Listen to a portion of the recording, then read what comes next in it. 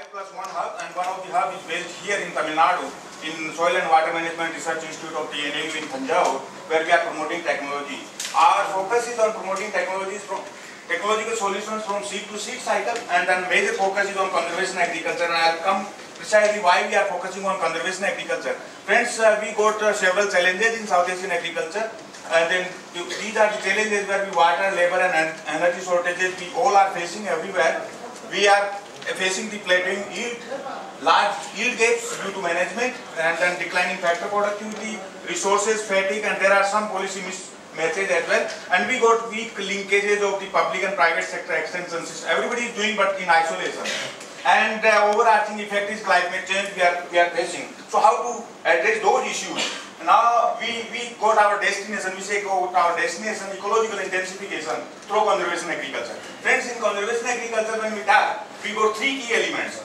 Minimum disturbance of the soil, there should be rational soil cover and then efficient and uh, cropping systems. When we put together all these three, that makes conservation agriculture. But what is CA plus? It's not only these three components, we have to integrate the other management aspect with the variety, fertilizer, pesticides, the natural resource management and, this, and the cropping systems.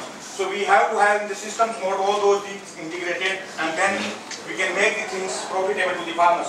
So that we focus on the conservation agriculture. Our direction is uh, customized technology that farmer want. It's not like the technology that farmer want, uh, scientists want.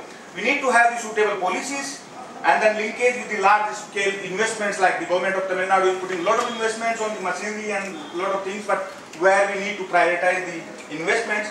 And then we need the dedicated partners uh, at the ground level. so like more small all category of farmers can have the, the, the machinery. They are available. We have to have residue management. I don't know in Tamil Nadu it's not not a, much an issue but in northwest it's a huge issue on residue burning and environmental pollution.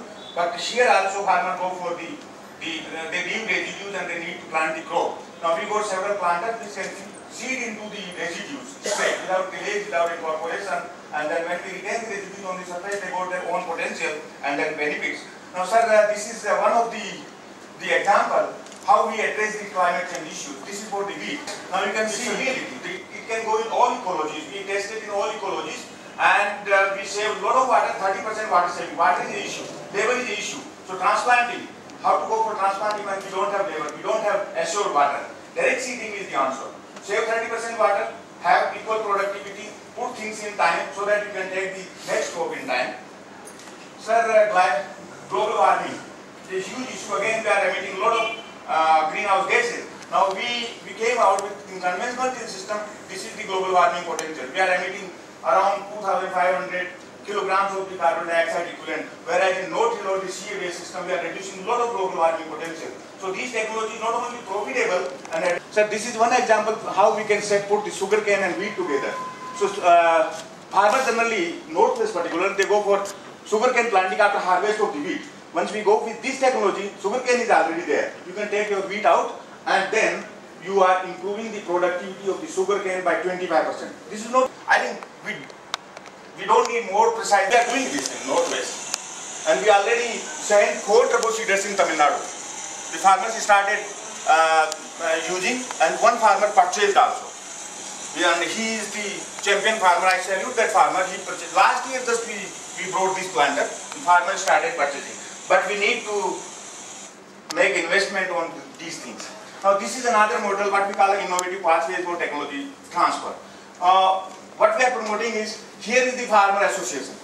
Now we go and then put the set up the trials, adaptive trials so that we can fine tune the technology together with the farmer and then other farmers put their trials and some farmers take the trial uh, and adopt them and then, then the other departments or whatever departments or the university or the international institute, they come and join here, discuss here, organize traveling seminars, put everyone together and have interaction with the farmer and other farmers came forward and then make the cooperative society. So that's how we are moving.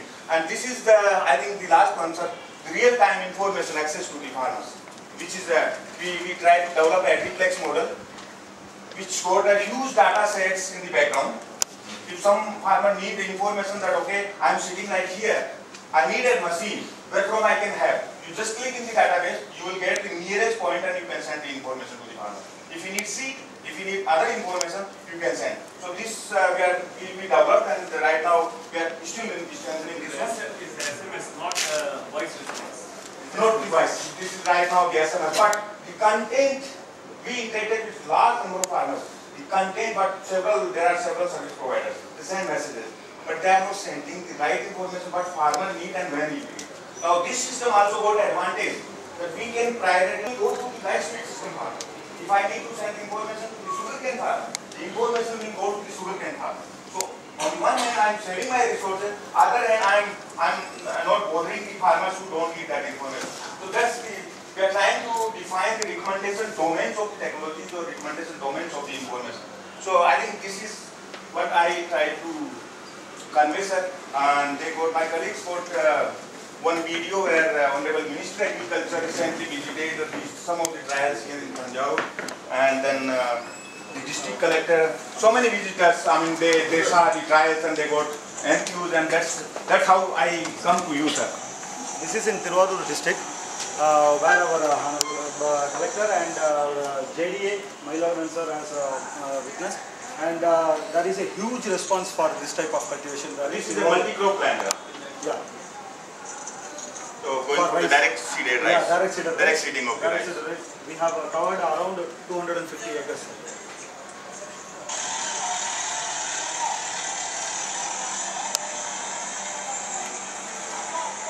This machine we can use in the bed planting. This machine we can use in reduced till situation. This machine we can use in zero till situation. I mean, and have the planting of any crop.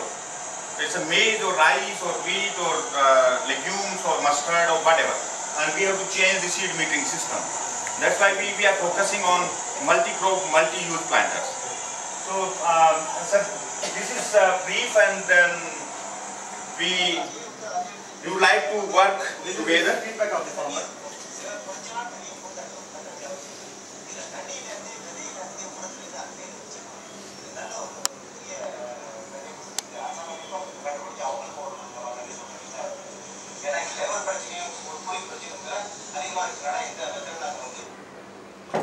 It's okay. Uh, Thank you very much, uh, Mr. Jat and your team, and uh, I would like uh, any of you to sort of uh, reflect, react, or uh, any clarification you want, or any detail you want, uh, we can, uh, we can have a discussion for uh, five minutes.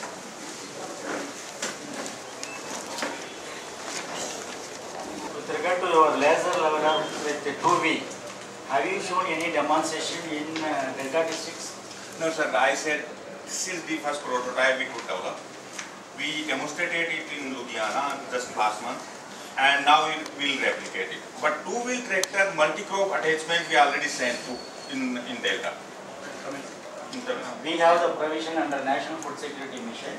Uh, If uh, the uh, prototype you uh, invented is uh, approved by the university or the concerned authority, then we are ready to take up. I think Delta district people will react. Last year, we, uh, we have recommended for 60 laser levelers that was not utilized because of the high power uh, tractor that is, that is retired for filling the laser leveler. This, it's a Four-wheel is uh, something around uh, 3 lakhs. That is the standard one you are. Yeah. Standard. But this will be relatively less, but the most important thing is the main components, whether the laser transmitter, receiver or the control box, they will be almost same. It's only the bucket. So that's another concern. I mean, when we put the smaller, but the cost, uh, if it's not less, significantly less, then, then there will be a issue. But we are working on that. It's based on the pneumatic uh, approach. Yeah, it got a hydraulic. And then the sensor, like we put the transmitter here and then the laser receiver here, so laser beam will be in the same level. So Essentially, that what you have, essentially what you have done is you have reduced the size of bucket so that the power requirement goes down and also operability in a smaller field would be better. That's what. Yeah, that's one, and the other one is like, so two-wheel tractor don't have the hydraulic. So we created a hydraulic in the two-wheel tractor. We gave the power from uh, the, the shaft and then they put a air, uh, you know, tank and that creates air and then give the power to the hydraulic. That's how we created uh, the hydraulic with the two-wheel. Then what about the efficiency, engineer may be? With regard to delta districts, we have about three and a half lakh hectares under rice fallow pulses. Normally it is being uh, practiced, the practice is that to broadcast the pulses seeds before ten days of, ten days harvest. Uh, but instead of that, we wanted to have this uh, zero till usage.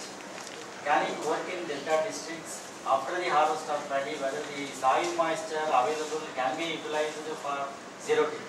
Yes, yes, because, I mean, when, when we harvest rice, now we are putting, surface seeding the, the black gram ten days prior to harvest to catch the moisture. Now when we wait for ten days, you know, and harvest the crop, on the surface, few millimeter, you will have dry. And if you go for the broadcasting, then you, you will not get germination. But once we go for the planting using the planter, you are opening the slit and putting the seed and fertilizer right in the, the zone, so no problem. So this information is only for delta districts people and even in the other districts, while we, we went to uh, Sivaganga, most of the people they require uh, zero till. Uh, That has not been included in our pro- program. Actually, in government of India is also very much uh, pressurizing for usage of zero. Uh, The JDS can come forward and make use of the services. Yeah, I think uh, if you can uh, demonstrate uh, Uh, whatever whatever machineries are available in the commercial stage, that would be a very Sir, good it's thing. our pleasure to demonstrate. We are already demonstrating and we welcome all of you. And we can decide the time together and we can organize the events, a full event, right? How to operate and what are the benefits and then you can travel. I mean, we got large number of the fields, direct seeded rice, excellent crops. So you all are welcome to see those fields and then interact with the farmers. These machines are available in Tamil Nadu. Uh, these machines right now they come from Punjab. Unfortunately, in whole of the country machines go from Punjab. Uh, but we need to, I mean, sir, the, that's the policy uh, level thing. One is uh, we need to create some manufacturers, enthuse them. The other one is we need to create, rather than we say every farmer go and purchase, we need to create service windows. Yeah, that is fine. What you say is very correct because the coverage would be more when we go for a group approach or area approach. Fine. The only problem is that uh, unless we see these machines giving satisfactory result in Tamil Nadu, broad basing would not be possible. Sir, It's good uh, you can show it uh, happening in certain other part of country, but in our conditions in Tamil Nadu, how it would be, how it would be sort of uh, giving the we are already demonstrating, the demonstrations are on the ground for, for all those machines. Now, what I would be suggesting is wherever you have, that's, that's what precisely I'm asking, where, wherever you have used these machines, directly with the farmers you might have used, kindly give me a list so that our JDS would be able to have interaction with, uh, Kumar, We will have a list. And uh, already no, no, please, please listen to me.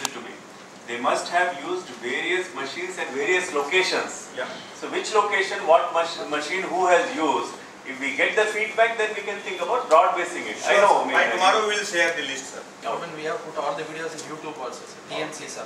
Okay. And get Uh, kindly mail me this particular uh, presentation. Okay, sir. Then the YouTube, what you are having. URL we will send. Yeah, and also the list where in Tamil Nadu you have uh, tried it.